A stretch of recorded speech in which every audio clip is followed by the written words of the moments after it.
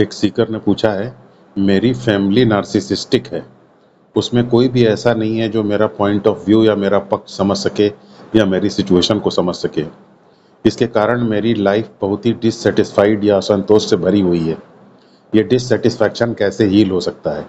देखिए, आपने सही कहा कि अगर आपकी कोई, आपके पॉइंट ऑफ़ व्यू को कोई नहीं समझ पाता, आपकी फैमिली में, आपके आपके सिचुएशन को आपकी समझ नहीं पाता, आपके पक्ष को नहीं समझ पाता है, आपकी परिस्थिति को स्वीकार नहीं कर पाता है तो इससे निश्चित रूप से डिससेटिस्फैक्शन पैदा होगा। और ये हम सबकी इमोशनल नीड होती है कि हमारे पॉइंट ऑफ़ व्यू को, जो लोग हमारे नियर एंड डियर हैं, वो हमारे पॉइंट ऑफ़ व्यू को वैलिडेट करें, हमारे इमोशंस को एक्नॉलेज करें, हमारे इमोशंस को स्वीकार करें उसको रेसिप्रोकेट करें, हमारी परिस्थिति को समझें तो साधारण भाषा में अगर हम कहें तो हम सब के अंदर ये डिज़ायर होती है कि हमें समझा जाए, हमें रिलेशनशिप में हमारी बात को लोग समझें, हमारी स्थिति को लोग समझें, हमारे पक्ष को लोग समझें, हमारे पॉइंट ऑफ़ व्यू को समझें। और चूँकि ये हमारी इमोशनल नीड है, इसलिए अगर हमारी इस नीड को, हमारी ये नीड पूरा नहीं हो पाती है, अगर तो हमारे अंदर एक इमोशनल डिससेटिस्फैक्शन पैदा हो जाता है। और हम उस इमोशनल डिससेटिस्फैक्शन पैदा होने के बाद बहुत ही ऐसा लगता है जैसे कि जीवन में कोई पर्पज़ ही नहीं है। और हम असंतोष के साथ जीवन जीने लग जाते हैं। जीवन में किसी भी प्रकार की कोई फ्रेशनेस नहीं रह जाती है।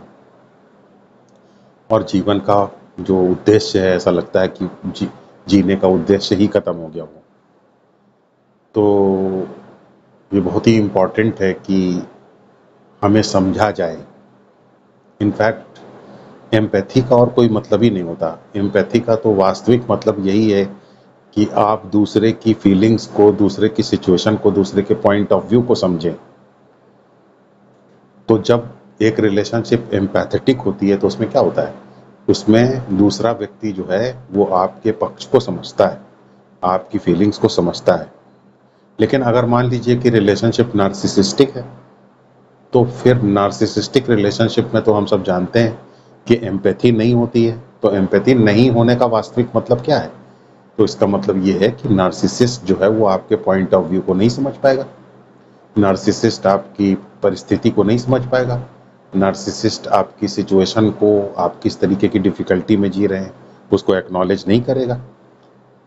तो आपके साथ प्रॉब्लम ये है कि चूँकि आप नार्सिसिस्टिक फ्रेमवर्क में नार्सिसिस्टिक एनवायरनमेंट में रह रहे हैं तो इसलिए वहाँ पे एम्पैथी एबसेंट है। और जहाँ पे एम्पैथी है ही नहीं, वहाँ पे आप ये उम्मीद कर रहे हैं कि आपको समझा जा सके। वहाँ पे आपको नहीं समझा जा सकेगा। इस बात को आपको ठीक से समझना होगा। याद रखिए, हम सब क्यों डिफेंसिव होते हैं? हम सब क्यों अपनी बात को बहुत ज़्यादा एक्सप्लेन करते हैं दूसरे के सामने? हम सब क्यों जस्टिफाई करते हैं दूसरे के सामने अपनी बात को, अपने पक्ष को? क्योंकि ऐसा करके हम अपने आप को दूसरे को समझाना चाहते हैं।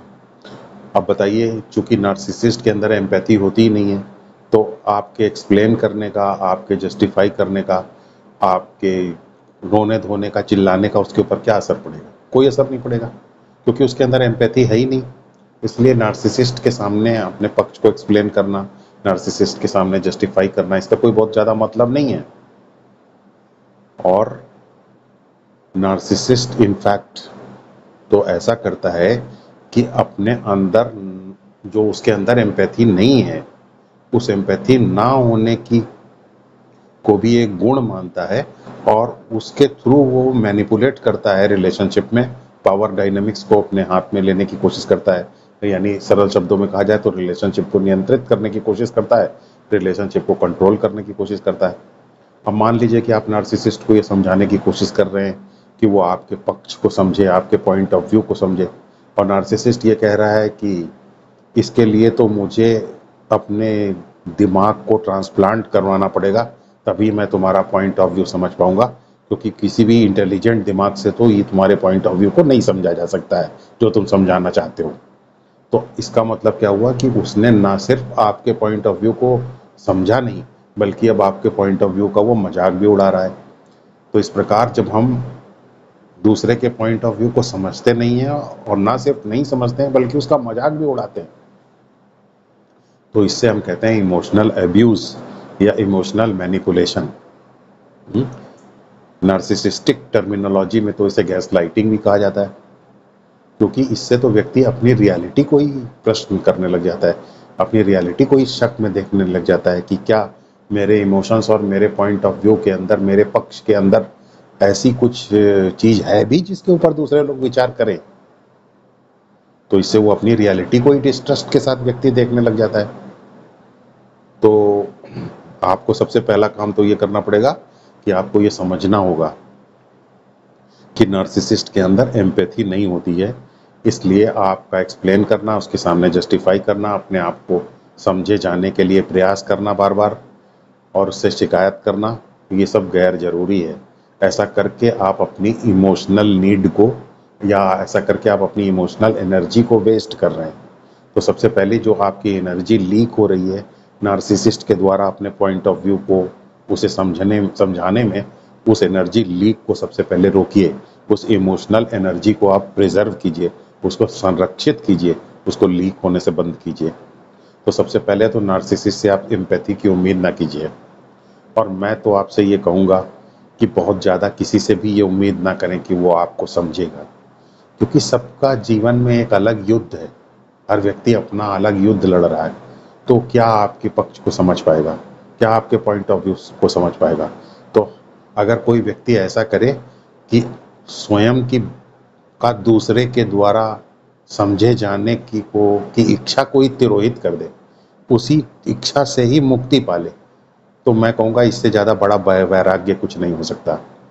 तो आप भी अपनी इस इच्छा को त्याग दीजिए कि आपके अंदर की फीलिंग्स को दूसरा समझे, आपकी सिचुएशन को समझे तो आप काफ़ी अपनी इमोशनल एनर्जी बचा सकेंगे। और अगर इस तरीके का वैराग्य आप नहीं प्राप्त कर सकते हैं, आपको लगता है कि कठिन है तो एटलीस्ट कहाँ पर अपनी फीलिंग्स को वैलिडेट कराना है, कहाँ पे अपने पक्ष को रखना है, कहाँ पे अपने पॉइंट ऑफ़ व्यू को बताना है, उसको सही जगह को चुनिए, सही फ़ील्ड को चुनिए। तो आपके ऐसे रिलेटिव्स ऐसे फ्रेंड्स जो कि आपके पक्ष को समझ सकते हैं, आपके पॉइंट ऑफ़ व्यू को समझ सकते हैं, आपकी फीलिंग्स को वैलिडेट कर सकते हैं उनके पास जाइए, उनसे आप अपनी बात बताइए, उनसे अपने दिल का दर्द बताइए। लेकिन जो लोग ऐसा नहीं कर सकते हैं, उनके सामने अननेसेसरली उनको बदलने की कोशिश मत कीजिए कि वो आपको, आप उनको बदल पाएँगे, उनके अंदर एम्पैथी आप पैदा कर पाएँगे।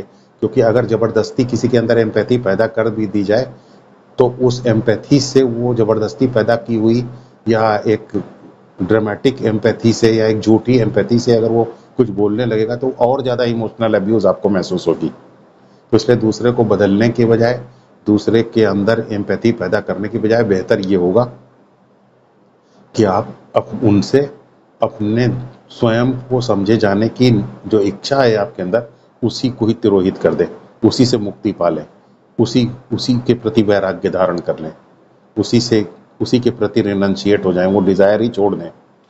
कि वो आपको समझें बजाय इसके कि आप उन, उनके अंदर एम्पैथी पैदा करने की कोशिश करें। तो इस प्रकार आप एक एक्सेप्टेंस से जी पाएँगे। और इसी एक्सेप्टेंस से हीलिंग शुरू होती है। जैसे आपने पूछा कि इस डिससेटिस्फैक्शन से कैसे हीलिंग होगी? इस डिससेटिस्फैक्शन से हीलिंग तभी होगी जब हम इस डिससेटिस्फैक्शन को एक्सेप्ट कर सकें। इस डिससेटिस्फैक्शन को हम कैसे एक्सेप्ट कर पाएँगे?